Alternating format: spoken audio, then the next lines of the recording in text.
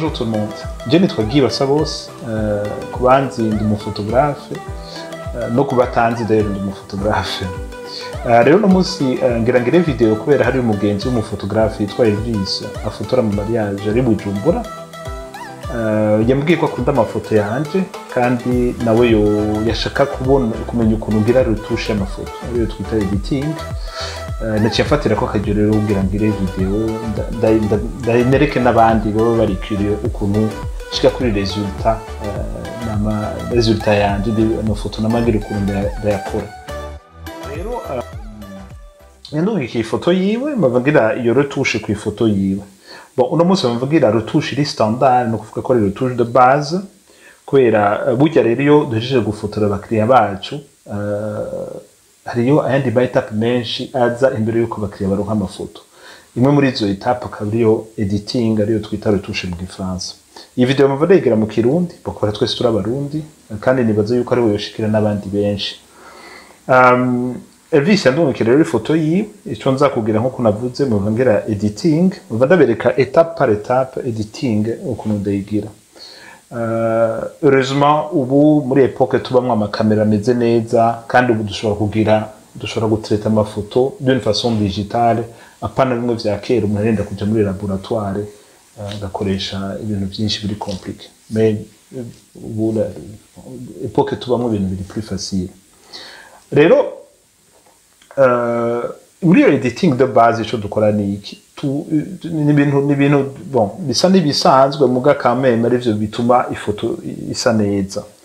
Kenshi aya makamera twe dukoresha kenshi tuba twaraguze hanze ari professionnel. Uh, abari abari calibre baba barayakoreye abantu bafise umubiri wera. Kurumva aba a- iyava abantu bafise n'abazungu n'abantu bafise imibiri yera.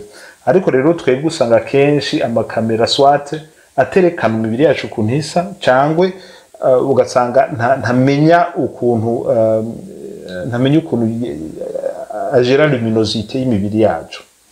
Rero bica bisaba yuko rimwe na rimwe dusubira gukora ku mafoto kugira ashobore gusa nk'uko abantu bari basa umunsi w'ubukwe.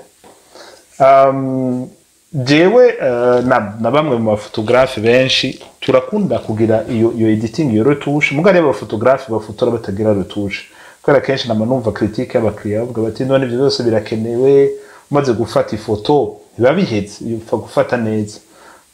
Hariya abadesida gufata amafoto bakayatanga uko nyene. Muga hariyo n'abandi uh, tudesida kubikora uko. So uvuga ko kimwe ari ciza kurusha ikindi me ni preference ijanye n'umufotogarafe na kalite ashobora ashaka gutanga. Jewe kubw'iwanje mbona ko retushe ikenewe kubera nk'uko navuze amakamera kenshi ntaba ari calibre ku mibiri y'abirabura. Muga kandi hariho utundi tuntu twinshi umuntu ashobora gukora apres yuko yafashe amafoto kugira yameliyore foto. Tumwe muri utwo tumwe mu- tumwe muri utwo tuntu ndashobora ku- ndatubereka muri retushe nza kubwira. Ikindi naco uh, abandi baba bashaka yuko ngira retushe amafoto yabo babone ukuntu bashaka kumenya ku- bivuye ku mafoto yabo barashobora kuyandungikira. Nkabibakorera mabashira email yanje munsi murashobora kuca muyikopya mukaca muyandungikira par mail. Ndashaka par mail ko rero muyarungitse uh, par uh, muyarungitse kuri whatsapp cyangwa kuri facebook. Uh, ntuze algoritme ya facebook irayakompresa ntaba afise karite nziza. Ikindi naco nashaka kwaborda imbere yuko ntangura kugira editing uh, mpava nku- iyi foto mpava ndayikora muri format yitwa raw. Amakamera y'abaprofessionnel afata format zibiri. Hariyo format yitwa jpeg abantu benshi bamenyere hariyo n'iyindi format raw ariyo format ukwita ko ari format y'abaprofessionnel iyo format raw uh, ni kubera iki uh, je ndayiprefera cyangwa abaprofessionnel benshi bayiprefera nuko ari format kenshi iba ifise ama information menshi iba ifise plus d'information JPEG iba iri compressé na kamera ni ukuvuga yuko ari ama information atakara ayo ma information uh, kenshi aba ari mu ma couleur muri latitude ya luminosité urumva uh, lumière iba capteur iba yafashe iyo format raw ntikompresa image capteur iba yafashe akaba arico gituma iyo turiko tugira retushe duprefera amaformat ari raw kubera information uh, za lumière ziba ziri nyinshi bigadufasha gutanga ifoto ya karite nziza kurusha ikindi naco formalo ifise uh, ikintu ibiri plus ibifise ikintu tuza clarté na na sharpness ibiri plus uh, netete ibari ibari nyinshi kurusha. Akaba arico gituma abantu bose bazondongera amafoto ngo ndabagirire ifo kuyarungika muri format raw kuri kuri email yanje. Bon uh, ngira ntangure kugira editing mwese yogenda boro boro kugira mushobore gukurikirana. Ivyo mutumva murashobora kumpoza questions mu makomantere uh, cyangwa ivyo mwoshaka ko ndabasubiriramwo navyo mubinsaba ni ubwa mbere ngize video nk'iyi muga mu- ni- nivyabanezereza cyangwa bazoshaka ko ndabagirira izindi video ku vyerekeye ivyo nkora vy'amafoto vyanje ndashobora kuzobibakorera isufi yuko munyandikira message cyangwa muvyandika mu makomantere systeme je nza gukoresha si gukoresha systeme nziza me niyo niyo jewe nkoresha niyo mfise preference yanje. Hariho byinshi mudashobora gukora muri editing no muri retouche byinshi byinshi cyane muga jewe kubwiwanje ibi ndiko ndagira nivyo mbona bi- bisa neza hein? bon peut-être uwundi munsi cyangwa ku yindi video kugira singere ama video maremare cyane ndashobora kwereka n'ibindi nama ngira kugira namerera amafoto. Abashaka nabo kugira ngo ire editing ku ifoto zanje je mfata na byo murashaka kubisaba nkabibakorera uh, membwa twoca tubikora muri video ikurikira. Reka rero dutangure. Mu gutangura editing um, mbanza gufata le fichier nkayugurura muri photoshop. Uh, ndayizana nkayitereka kuri photoshop photoshop ica yuguruka. Um, iyi photoshop ni cc na cc no kuvuga niyo niyo photoshop version ya nyuma.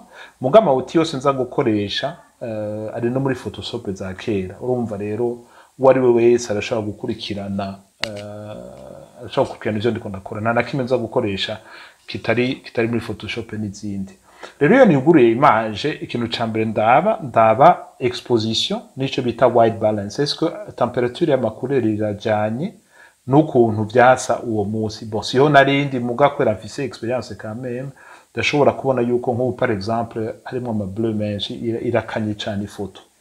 Rero ngira ngire ngira ngire ama modification amwe amwe ngenda ndasigura buhoro buhoro izi modification ndiko ndagira icya mbere nogira nobanza kugabanya kugabanya icyo bita ama highlights So, nama na ni- ni- nama ton ari les tons les plus clairs au fait. Bon neza mu gifaransa muga bazita ama highlights nk'uko ubona nca ndazigabanya nk'uko ubona nk'uko mubona ngabanyije ama highlights aha muri rido rido cisubira kuboneka neza. Kubera iyo highlight ari nyinshi aya madetaye mu marido aca anyika rero ndagabanya ama highlight mbona eh, par, contre ifoto ni nziza cyane yifashe expose neza. Ngira ngabanye gatoya exposition kubera hariyo lumiere nyinshi kugira umuntu ashobore kubona amadetaye mu mpuzu eh, no mu maso. Ikindi naco mbona umengo ira- irakanye gatoya ngira nduze temperature gute ndayirefroidisse murabona yuko deja baca baronka imibiri isa neza iri ikindi naco mbona ndabona yuko kubera hariyo blanc nyinshi hariyo lumiere yagarutse muri lentille nayo ndashobora kuyigabanya bwize iyi stade yitwa dehaze murashobora deja kubona difference entre ifoto uko yari imeze n'ubu. Murabona ko même amaton ari plus euh, bi- bisa neza kurusha mon avis hein? murabona avant et après. Ibi nivyo umuntu yogira deja muri camera raw camera raw fait niyo uh, interface ya mbere yuguruka iyo uriko urakoresha amafishe ari raw. Niyo interface ya mbere yuguruka. Mbona ata kinini nohindura ubu ndashobora kuja muri photoshop hama ngaca ntangura yandi ma modification. Aha uh, hariho uh, tab yanditse open nico yugura muri photoshop. Hari ibindi vyinshi nogira muga kuri iyi video eka tugeze aha tubanze tu- twugurure iyi fishe tangure kuyikorerako. Nk'uko mubona photoshop iciyugura iciyugura rero muri interface ya photoshop traditionnelle mwese mumenyere aho ubona ama layers n'ibindi. Ikintu ca mbere ngira ngire ngaha ngira nagrandise canvas yanje ca zoominga yine kugira verifie uh, ntuzeye image kuntu isa ufyonze space bar urashobora kuza ura, urabuja image murabona ko hariho utuntu tutu imperfection utuntu tutu utuntu tudutashe turi kuri iyi image. Icyo ngira ngire ngira ngire commande g kugira nduplique ngire layer yindi nshobora kugira mu modification nari nzi konona l'image ikintu ca mbere ngira ngire ngira mfate iyi patch tool niko bayita kugira nkure ko yintuze iyi page tool ireproduisa texture ya ya ya ya yintuze iri juste à côté ya selection iyi ni selection shaka ireproduisa iyi texture iri à côté. Nk'uko mubona iciye ikurako kirya gitashe kiriko iyo ni façon imwe yo gukurako ama imperfection ku mubiri iyindi façon na yo ni brush healing tool yoyo isufi yuko uja aho hantu ushaka kwihindura yoyo ikigira automatique ikacikurako nka bouton. Nk'uko ubona aha yayikuyeko bouton. Muga ntikora dans tous les cas bon ubu ngira ngire ko birafata umwanya hama ca nyarutsa mpava ngira mpava nyarutsa video ko birafata umwanya ngira nkore ko utu imperfection. Aho ndatubona two- twose ngira combination y'irya patch tool n'iyi brush healing tool.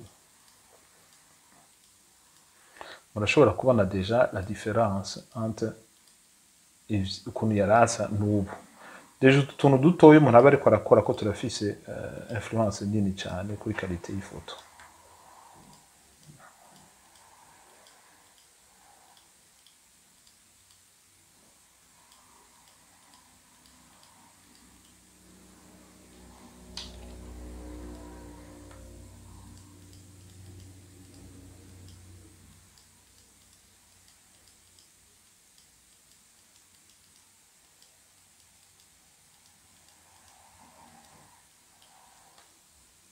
Aha murabona yuko aho na na na na ki- na- na- na- nakijije ntuzi aho nakwiye ko ama- ama- amadefo yaciye ihindura n'umubiri aho hantu. Urabona ko umengo hari ikintu cy'ikiouverture ni simple ubwira umuntu atore solution. Yewe ntuze mfata ya ntuze nyine ya patch tool nkaca ndondera texture iri hafi. Ikiro produce texture hajya nyene ikacihuzuza ntiyasubire gusa n'ahantu hari vide. Ah? Eh, faut kugira attention. Ivyo bintu kubera n'ahandi bica bisa n'uko umengo nti- nti- ntibiri si umubiri wiwe. Bica biboneka yuko ari ibintu umuntu ya- yagiye ara- arahindagura. Okay ngasubire gufata irya brush healing tool.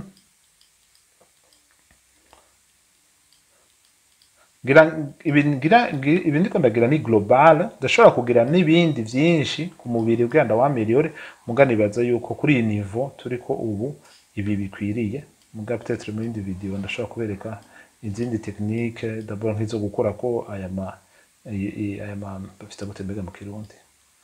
Samaride. Bon soit. Mwese mura- mura- mura- murazi ivyo nshatse kuvuga. Ku mugabo nibaza ko bikwiriye. Ko bikwiriye.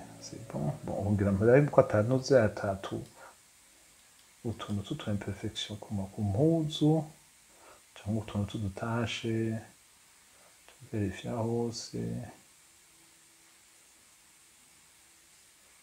ni sawa sofe akako ngaha peut-être bon aha ni sawa bongera nje kwa madame. Abadame ndatira attention cane kubera kenshi baba bafise utuntu tutuglita usanga turi usanga tuderanja okay impuzu nabaha munsi ni sawa sawa ni sawa. Aha kora kaka kora kaka okay bon ngira nje mu maso.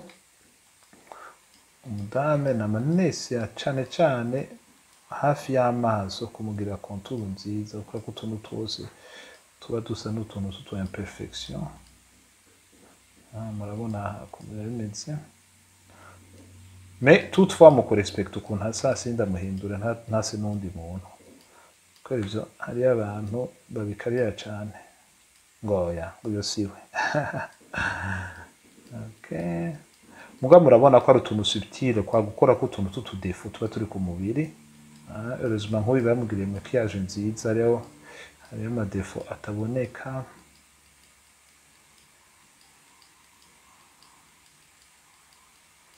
Bwa generale aba- aba- abadamu baba bafise surtout abari bien maquillé nta bintu byinshi usanga utegerezwa gukora guhindura. Ikintu kizoba gisigaye gusa ni kugira ko harmoniza ntuze la texture y'umubiri. Ongera murabe difference murabona. Nunda ko n'ahari utu difference dutoya quand même udushize hamwe twose turafise impact ku kuntu umubiri usa. Yego, aha, aha, aha, aha, aka karanderanje gatoya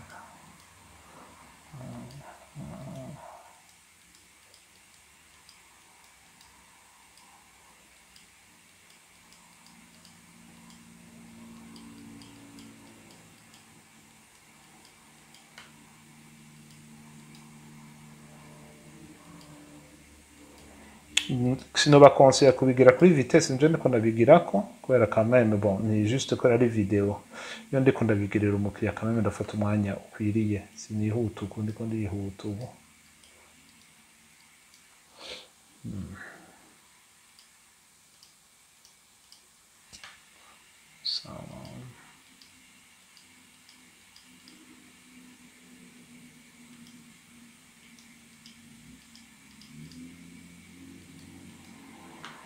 okay aha ni sawa aha aha bon tura nibaza ko aha mpejeje.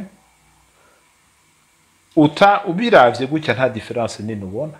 Muga u- wegereye urabona ko kameme hariyo difference ukuntu imibiri yabo isa n'ubu. Tu imperfection twavuye ko c'est un peu plus beau je trouve. Hariyo akantu kamwe kariko karahanderesha kuri iyi image. Ndabona yuko im- irahengamye. Ufite ni appareil aho yafata ifoto appareil yarayihengamitse gatoya.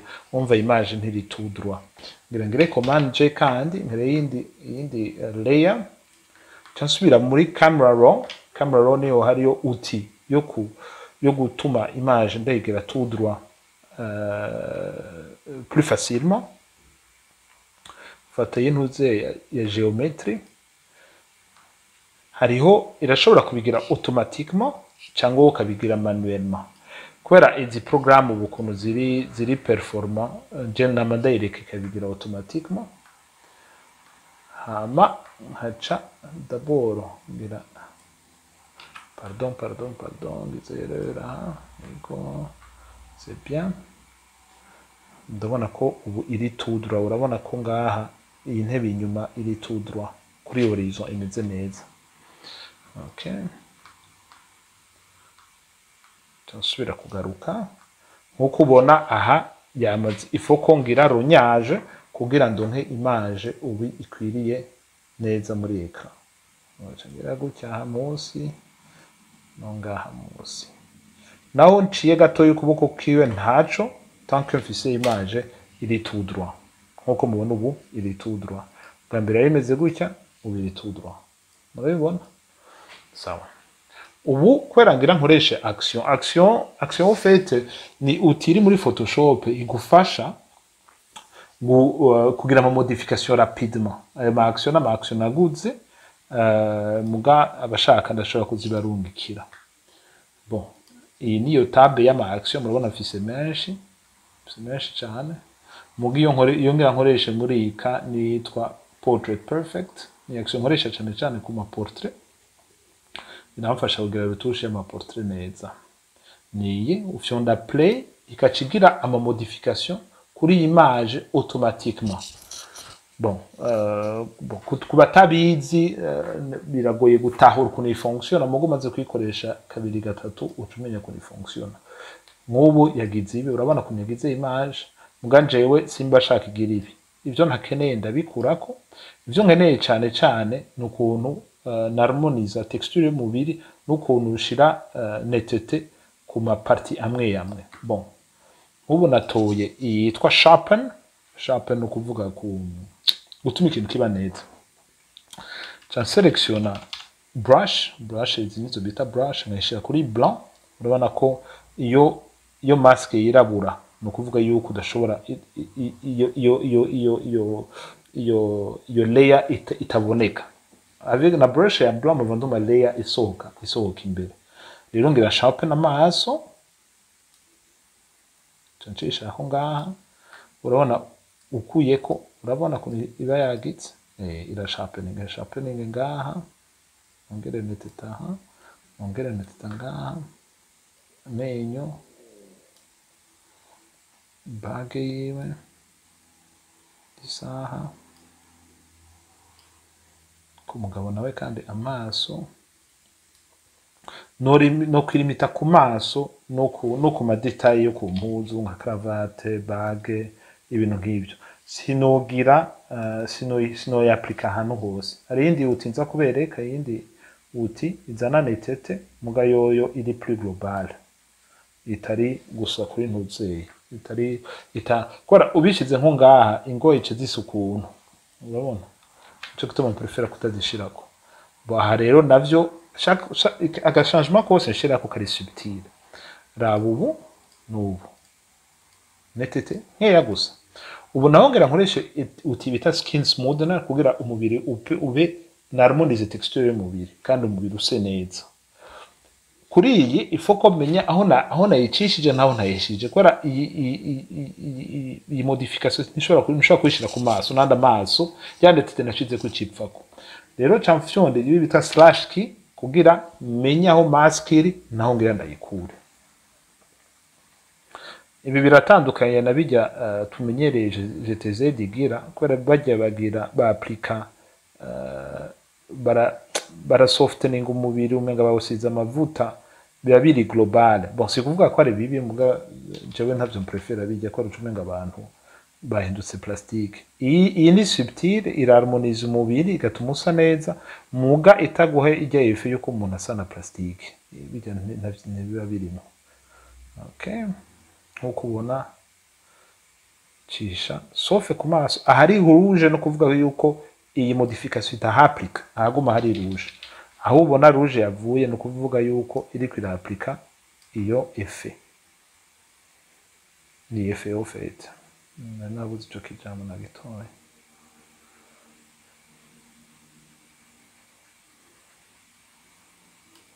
urabona ko ngerageza kurespekta quand même amakontura eh, ya ntuzeye y'umubiri. Nk'ubu warengeje ngaha ntaco bivuze nta probleme mugo ushaka kubikurako ufyonda x ukaja usubira kuri noire iyi iyi mask usubire ukoresheje brush ntuze ya noire ica isubiza ya ica ikurako ya efe aho hantu wasubijeho rouge. Okay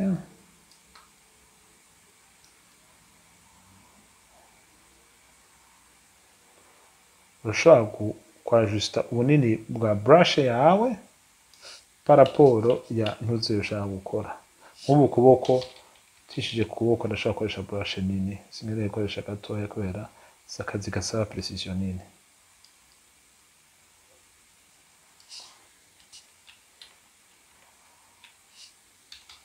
Ngabanye brush kugira ngire amakontura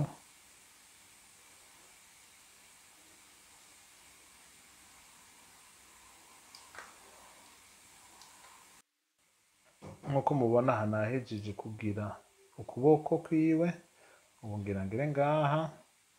Kubera yafekta umubiri cane cane itafekta izindi parti ah, eh, nta nta- kibazo naho efe ija ku mpuzu. Nta nta modification igerako cane. Ubu naho ngira nshigire mu maso y'umugabo nk'ubu uko mubona ndavita ingohe nkevita n'amaso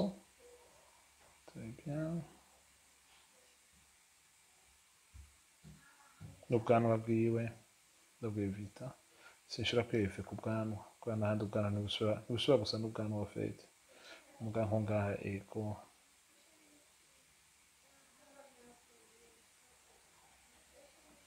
Nk'uko mubona deja ifoto iri de très bonne qualité iri bien éclairée. Ce qui fait que ama modification yose ndiko ndagira yameliora ifoto nico gituma biri très important. Iyo mwagiye gufotora kubanza kwiyo gufotora neza kumenya kwekrera neza ko ibintu byose biba biri muri focus. Urabona yuko yafashe focus neza arico gituma iyi foto yoroshe uh, kurutusha gutya.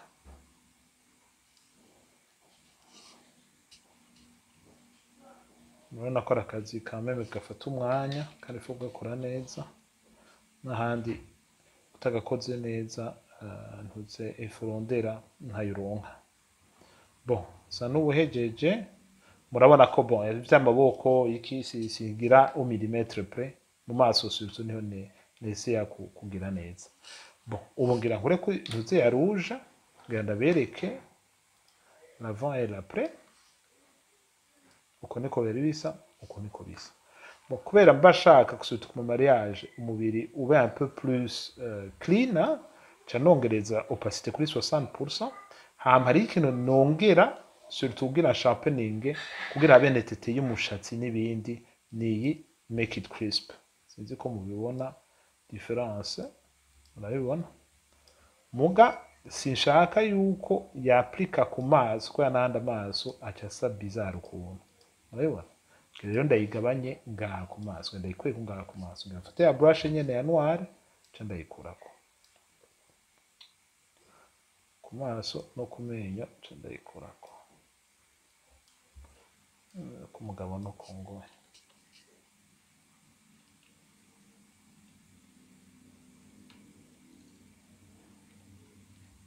okay ndayigabanye nayo gatoya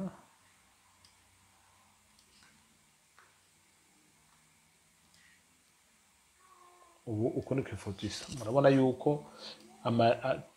y'umubiri yaba yarmonize ndayikwiye ko urabona ukuntu bi- bica bimera. Mugo ubu taye iri harmonize kandi iri plus soft. Bica bitanga kajya ga kajya gakote kari um, bakita dreamy uh, suti y'amafoto ya mariage. Sizi ko mubona. Murabona? Aha rero ndananezerewe mbona yuko intuze imeze neza. Cangira flatten ca flattening image. Kubera iyi photoshop uko ugurura ntuze nini nuko uh, espace ifata ari nini surtout muri editing. Bon ikindi ngira ngire hariho action nkunda gukoresha kenshi uh, ndi muri ntuzeye uh, package y'amaction yitwa PTM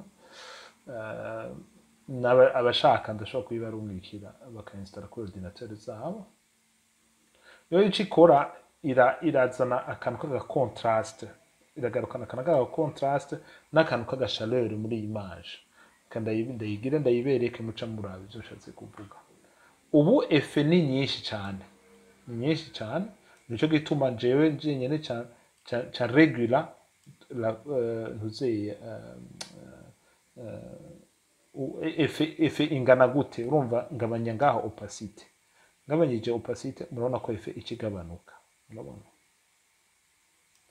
uku ni ku ifoto yasa uku ni niko yasa uku ni ku isura urabona ko yongereje akantu k'aka k'aka lumiere aka réchauffement na ntuzeye na na na na na na, na contrast bon.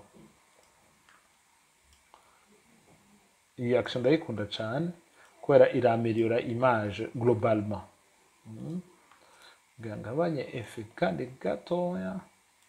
Ni sawa. Birasubire guflatteninga ubu ngira ngire etape ya nyuma nk'uko mubona muri iyi image ko yafashwe mu ijoro hariho ikintu cyitwa bri muri iyi image. Uh, bri ni ukuvuga yuko aya makapiteri yacu mu ijoro iyo wadugije icyo cyitwa izo hariho utuntu umenya ni utugra ucuronka muri iyi image ari cyo cyitwa bri urabibona ngaha ko aha ni ho rero umuntu abonera bri rero kugira nkuremwo bri utinje nkoresha kenshi nkunda gukoresha camera raw ya uti twatanguriyeko Bon, kugira ngo iri ibyo ngira commande G nkaca ngira iyindi layer ngurura filtre nkaca ngura camera raw kandi camera raw irafise aha kuri iyi- tab yitwa detail iguha option yo kongera netete cyangwa kugabanya bruit muri image na imbere yo kugabanya bruit namaduza kanetete gatoya hama nkaca ngabanya bruit n'iyi slider kugira ubone difference nkuyemo iyo efe ndayishyize ko urabona ko tujya tuntu umenya ni utugra tuca tugabanuka kandi n'imibiri yabo ica isa neza. Nongera netete kugira ntibise n'ibintu bisizwe n'amavuta. Urabona nongera akanetete gatoya kugira ya, netete nari nashize nko ku ifoto ihagume. Urumva? Sans bruit euh, nous avec du bruit sans bruit urabona ko image ica isa neza nejeje ivyo nca nsubira nkainspekta image ukuntu isa kuri njewe iyi image isa neza peut-être akantu nokongera gusubira kugabanya ntuze gatoya exposition yayo gatoya gatoya cyane gusa hama rero ni ukongera n'aka vibrance gatoya vibrance ni ikintu ki renforce ama couleur ni ukwera nkundi iyi couleur y'impuzu yiwe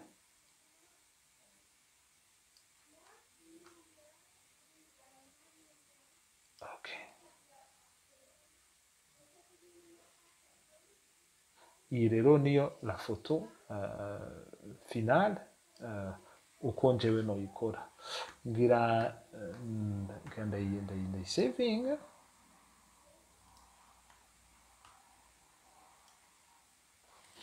savinga ku izina ry'uwayifoto ya nje rero kubera kenshi uh, espace ca ndayisavinga directement muri jpeg Okay.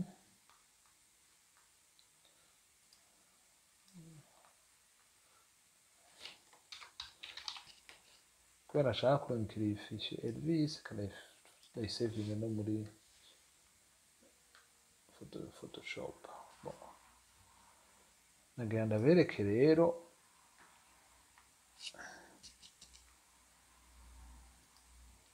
imaje twatanguriyeko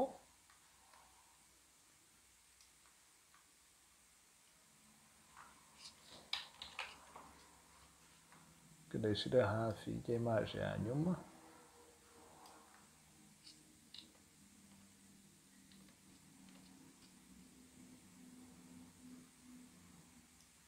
bon nga ndabereke rero la difference iyi niyo image yandu yandungikiye uko niko yayifotoye iyi rero niyo image fi- finale ya nyuma après ama retouche nagize murabona ko ari amakombination y'utuntu twinshi ah, dutoya dutoya ariko dutuma haba une grande différence icya mbere ubu image iri tout droit bicaye bari tout droit utuntu twa imperfection bafise ku mubiri twavuye madame asa neza cyane aha na yo ifoto ni nziza. Muga ibikeneye ako kantu kaka extra umuntu yongerako kugira eh, uronke ifoto isa neza. Hariho byinshi nokora nokongerako nko kugira imishatsi ngaha no ngaha eh, ni ni twinshi umuntu yogera muga ku- kuri kuri kuri retouche standard nibaza ko ibi bikwiriye nka foto officielle umuntu yahabambare nivyo abafise amafoto yabo bashaka ko ndabagirira retouche nabo babone ukuntu ndabigira bashobora kuzindungikira.